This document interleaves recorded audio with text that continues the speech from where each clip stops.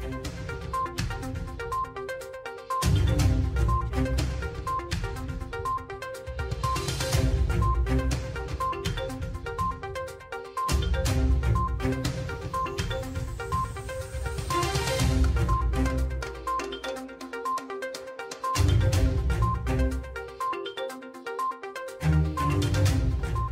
Saludos, buenas tardes amigos, gracias por acompañarnos a través de este canal, Luna TV, Canal 53, el canal de los campeones. Salúdenme a Carlitos y lo ven por ahí. Estamos en línea en el día de hoy listos para llevar las más importantes informaciones nacionales e internacionales.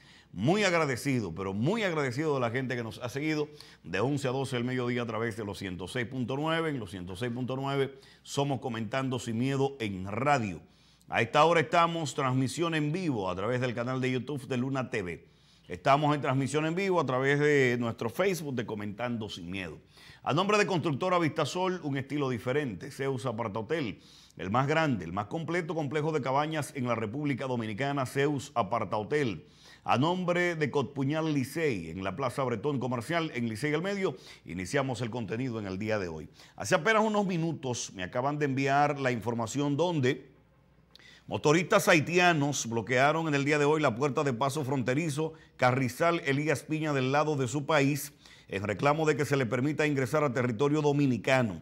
Informaron este lunes Cuerpo Especializado de Seguridad Fronteriza Terrestre CESFRON, miembros de la Policía Nacional Haitiana, acudieron a la puerta fronteriza y realizaron varios disparos intentando dispersar a las personas aglomeradas, quienes respondieron lanzando piedras a las autoridades y el territorio dominicano, de acuerdo con una nota de prensa enviada a los medios de comunicación en el día de hoy. Los motoristas volvieron a bloquear la puerta según la información que indica que hasta el momento no se ha reportado heridos ni daños materiales del lado de la República Dominicana, el CESFRON impide desde finales de septiembre la entrada de motoristas procedentes de Haití para evitar el trasiego de combustible entre la escasez de carburante que hay en esa nación haitiana. Esa es la información que tenemos en el día de hoy a través de esta plataforma de comunicación. Hay que ponerle ojo a la ciudad de Santiago. Nos han estado enviando informaciones. Hay un general nuevo, se llama el general Ascona, que ha venido a la ciudad de Santiago a hacer un trabajo. Claudio Edgar González Moquete deja a la ciudad de Santiago con numeritos azules, no en rojo. Llega Ascona a la ciudad de Santiago y se encuentra en el primer fin de semana con tres muertos. Estamos hablando de un muerto en la otra banda. Estamos hablando de un joven que fue apuñalado, una persona se detuvo, lo apuñaló. Otro joven que lo, asesinaron a balazo. Y otro joven muerto en la zona de, la, de Moca. Esa fue la bienvenida que le dieron en Santiago al general Ascona, que tiene que mantener un sistema de vigilancia que nosotros habíamos dicho a través de este programa, que podía darse una serie de situaciones una detrás de la otra. ¿Por qué razón hablábamos de que se podían dar situaciones una detrás de la otra? Cuando comenzaron a mover coroneles de lugares que habían venido con Claudio Edgar González Moquete a la ciudad de Santiago. Comenzaron a moverlo, ahí llegó la situación. Comenzaron a presentarse problemas. Ya este fin de semana comenzaron a vivirse problemas y ojalá que el señor general Ascona logre mantener bajo control la ciudad hidalga de los 30 caballeros y que esto no recaiga sobre la dirección de la Policía Nacional. En la capital, dice un amigo mío, se está comiendo uno con otro. Muertos, heridos, mataron un pastor en la capital. Heridos, seis, en un colmadón de la capital. Y líos van y líos vienen. Se rumoró en la tarde de ayer que a un reggaetonero lo habían secuestrado en plena vía pública. Nosotros tenemos un video que nos enviaron. No sabemos si es el reggaetonero, pero la policía a través de Pesqueira quien es el vocero de la institución, dio a conocer en el día de hoy que ese joven no había sido secuestrado. Que no, que eso no era así, nosotros tenemos las declaraciones. Lo que decimos con esto es que hay que tener cuidado con lo que está pasando a nivel nacional en cuanto a la ola de robos, atracos, secuestros y sicariatos que se pueden seguir dando, porque ya arrancaron. En un momento en que el presidente de la República, Luis Abinader, habló de que se iba a, perseguir la delincuencia en el escenario que fuera y que se iban a sacar de las madrigueras donde se encontraban. Vimos muertos en los guandules, cómo entró la policía y el ejército, mataron a un joven ahí. Hay varios jóvenes que se fueron en la pata de los caballos. Ahora, ¿qué va a pasar? Hay que mantener el orden, hay que mantener que el hombre serio, la mujer seria que se levantan día a día a producir y que transitan por la calle de nuestro país tengan seguridad. La única forma de que puedan tener seguridad es que se la garantice el presidente de la República a través de la Policía Nacional y el Ejército en las calles si es necesario. Hay que desmantelar los lugares que haya que desmantelar, donde se, se deshuese motores, todo ese tipo de cosas que sucedan. Hay que hacerlo. Ahí vienen dos meses peligrosos, noviembre y diciembre. Todo el mundo quiere salir a beber, todo el mundo quiere salir a comer, todo el mundo quiere salir a disfrutar. Pero hay un grupo de gente que no trabaja, que quiere cogerle los chelitos al que tiene su esfuerzo para írselo a beber. Entonces la policía tiene que estar atento a eso y tiene que diseñar nuevas estrategias nuevas estrategias para darle seguridad a la población dominicana. En el día de hoy me indigné bastante cuando me enteré de una información que nos hicieron llegar.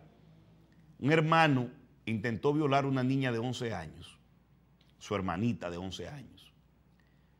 Parece que consume eh, eh, sustancias controladas, el muchacho, y le propinó 11 puñaladas a la niña de 11 años. La madre de esta niña se fue con otro señor y ya tiene otra familia. Y las hijas de ellas, porque son dos hijas y ese señor, viven juntos. Tres hermanitos se quedaron viviendo juntos en la misma casa. El papá le dejó la casa a las niñas. Y ahora este hermano de 11 años, e, este hermano de esta niña, la intenta violar, aprovechando que su otra hermanita estaba en la casa de una tía durmiendo. ¿Cuál es el papel que se va a jugar en esto? ¿Y cuál es la responsabilidad que tiene que tener la madre? Usted puede irse con otro hombre, tener más hijos, pero los otros niños que ya usted tuvo no lo puede dejar botado. Puede dejar botado. Descuidado. Porque ya mire dónde va la situación. Una niña de 11 años grave. Un hermano, como decía un amigo mío, estas son las finales del mundo. Ya se ha comenzado a dar lo que, lo, que dice la Biblia a través del Apocalipsis. No habrá padre para hijo, ni hijo para padre, hermano contra hermano, todo el mundo va a estar dividido. Y así, así es que estamos. Y un Sodoma y Gomorra que se está viviendo en, en todas partes del mundo, donde no hay ninguna sensibilidad humana. Les voy a presentar una serie de problemas que se han dado ahora que tomete miedo. Hay una pandemia de mujeres de barata carro a nivel nacional que eso tiene miedo, eso mete miedo. Hay una presa en Santiago que hoy mismo se le iba a conocer medida de coerción a esa jovencita. Ya le cantaron los tres meses y lo habían propuesto para hoy en la tarde. Ya le cantaron tres meses medida de coerción. Le metió pedra a ese carro, a, esa jipeta CRB y le daba por todas partes. Señor, ¿y qué problema tiene un carro? Si usted no quiere un marido, déjelo. Si es un ex marido suyo, usted quiere, póngale una querella, métalo preso. Pero dañando propiedades, ahí hay otra hora que tengo un video también que se le metió al carro, se le daba pata al carro y se cortó también. Hay una pandemia de mujeres de barata vehículos. Y eso no es necesario. Usted desbarata el vehículo y mañana se, junta con el hombre. Aquí anda una, una descomposición entre la familia que eso mete miedo. Y tengo un video de un señor, porque ya la gente no puede chocar, ya la gente choca y todo el mundo se para como gallo. El que tiene un cuchillo jala el cuchillo, el que tiene un bate saca el bate. Si tiene dos piedras de, de, amolar un colín, pues la saca y se comienza a dar el, el, problema. Más adelante yo tengo imágenes de eso. Nadie quiere chocar a nadie en el camino. Todo el que anda en un vehículo no es verdad que quiere traer al otro, que anda, eh, lo quiere traer al otro. Eso es mentira. Nadie quiere dañar su vehículo por más barato o por más caro que sea. Entonces aquí hay una inconsciencia. Hay un choque y ya todo el que se va a desmontar el carro, lo que se desmonte el culebro con una pistola, lo que tenga en la mano, lo va a sacar. Entonces, ¿cuál es el objetivo de pagar eh, eh, eh, los seguros de los vehículos? Gente que anda sin seguro, que pague a través de la DGC. Se lleva inmediatamente a la DGC, le hacen un levantamiento y que asuma, que pague la consecuencia. En cuanto al caso de la niña de 11 meses, de 11 años, perdón, que tiene varias puñaladas propinadas por su hermano. Hay que tener cuidado, las madres y los padres tienen que tener cuidado con sus hijos. Vigilen sus hijos. Le decía la semana pasada, vigilen sus hijos con quién anda, con quién eh, tienen actividad. Y esto lo decía por lo que sucedió con el panadero en la capital, que mató a una niña de nueve años y la violó. Y la tiró que todavía los familiares no tienen tranquilidad porque no han podido darle cristiana sepultura al cadáver de esa niña. Ahora tenemos un hermano que intenta violar a una niña de 11 años y le mete ocho puñaladas. La niña está grave en un hospital. No sé si la madre llegaría donde la niña, pero el Conani, ahí es que debería de llegar a jugar el papel que tiene que jugar. Porque si la madre la dejó con un hermano, claro, nadie se va a imaginar que un hermanito va a intentar violar a su hermana. Pero si está consumiendo sustancia controlada, entonces hay que tiene que llegar el Conani y quitárselo y llevarse la niña. Y darle atenciones eh, eh, eh, de verdad a esta niña como tiene que ser y, procurar que estas niñas vayan a, la escuela a estudiar y todo lo demás. El Estado Dominicano tiene que tener algo que dé secuencia a esto. No están los padres, entonces el Estado tendría que buscar la forma de ver para que haya una sociedad más tranquila. No tirar tantos jovencitos a la calle que lo tiramos, los padres que no pueden tener hijos, madres que no saben tener hijos tampoco, ni criar hijos y lo tiran a la calle, entonces ustedes ven que esos son los delincuentes de ahorita. Una generación perdida de los pies a la cabeza. Por padres irresponsables, por padres sin vergüenza. A mí me llenó de, bastante dolor ver esa información que me enviaron de que una niña de 11 años apuñalada, intentada ser violada por un, hermano, preso inmediatamente, 30 años. Con eso no se relaja ni se negocia. Niñas desprotegidas porque la mamá se fue con otra pareja. Gente que no puede parir muchachos. Mire, en el día de hoy hay que hablar de lo que nosotros habíamos pronosticado. Mucha gente se sintió mal cuando el viernes nosotros decíamos a través de esta plataforma de comunicación, de Comentando Sin Miedo, que Abel Martínez iba a, puntero para las elecciones que pasaron en el día de ayer. Nosotros lo habíamos dicho a través de este programa porque teníamos números en las manos. Y mucha gente entendió que nosotros estábamos tumbándole polvo a Abel. No, no, no. Lamentablemente nosotros tenemos que decir eso, es que no. Nosotros no venimos a este medio de comunicación, y lo he dicho mil veces, a hablar disparate. Nosotros nos sentamos aquí a decir las cosas como son y a traer informaciones verídicas. Ah, vieron que José, no, mira a José ahora hablando de Abel. No, no, no, señores. La verdad se la dejé en sus manos y ahí me terminó de dar la razón en el día de ayer cómo finalizaron las elecciones. Abel, el candidato a la presidencia por el Partido de la Liberación Dominicana, PLD. Hay muchas cosas ahí.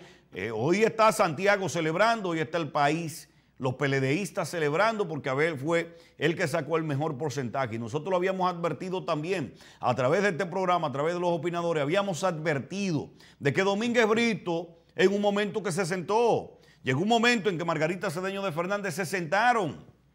No salieron a hacer el trabajo. Abel Martínez se mantenía constantemente visitando los pueblos, recorriendo, haciendo concentraciones, arengando sus equipos de trabajo. ¿Y cuál es el resultado? El triunfo de las elecciones internas del PLD.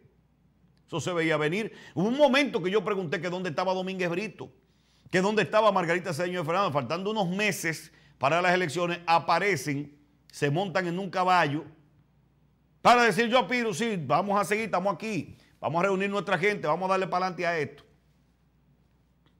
Perdieron las elecciones. Ahora el candidato es para las elecciones del 2024, Abel Martínez, alcalde de la ciudad de Santiago.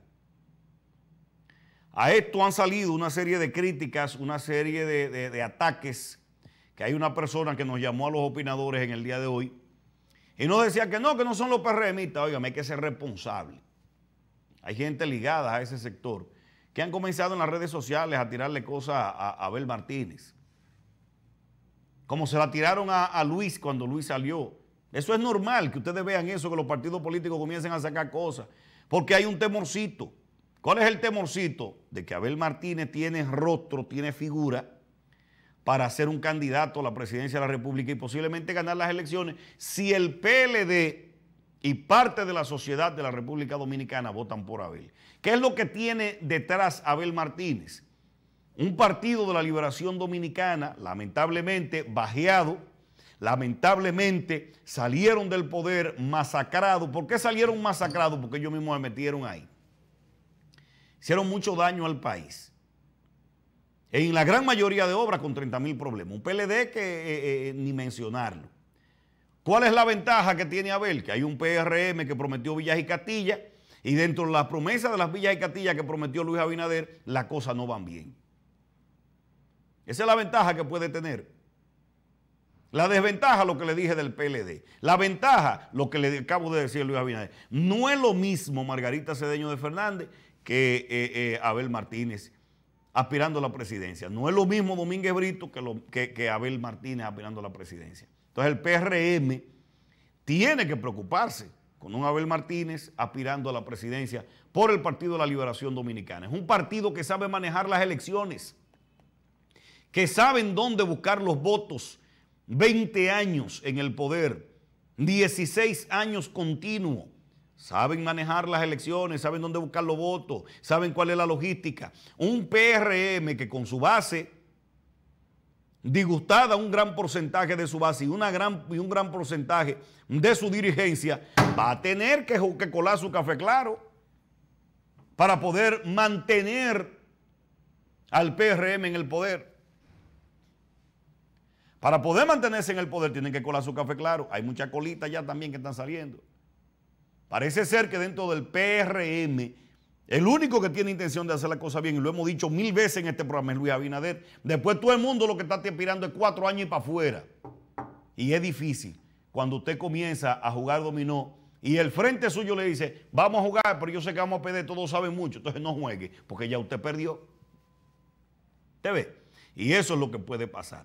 Ahí vienen las elecciones en el 2024. Ojalá que surgieran también nuevas figuras frescas dentro de los demás partidos políticos. Pero que se vislumbre una esperanza de que va a haber un cambio en República Dominicana. Un cambio efectivo, un cambio sincero, un cambio real. No un cambio de boca de los gobiernos, que han llegado todo. Aquí lo que hemos cambiado es partido político. Si no, pregunten dónde está Furcal y qué fue lo que pasó con el Ministerio de Educación y la poca planificación que hubo para que Luis Abinader ahora iniciara el año escolar en la República Dominicana con un nuevo ministro con tan solo dos meses en el poder. El ministro en el poder. Y un Furcal criticado enérgicamente por parte de la población y que ahora es que comenzamos a ver todo lo que sucede. Viene, esto se va a poner bueno, esto es lo que estamos a mitad. Esto va a poner bueno cuando arranque la campaña electoral en la República Dominicana. No acto para cardíacos. ¿Por qué decimos no acto para cardíacos? Porque se van a decir muchas cosas. De ambos lados.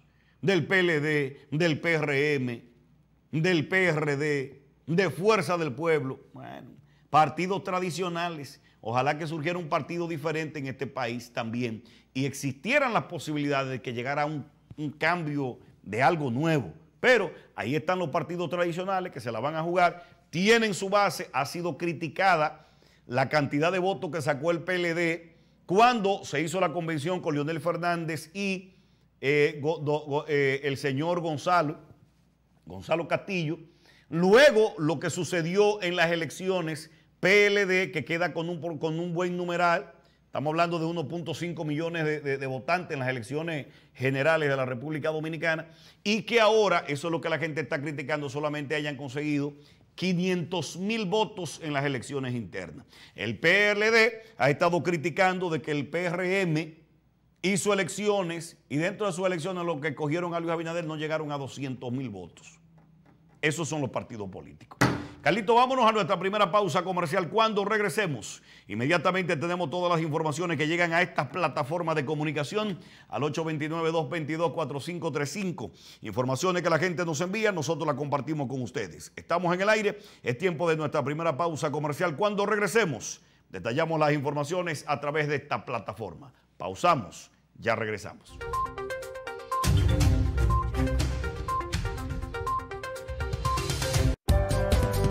más.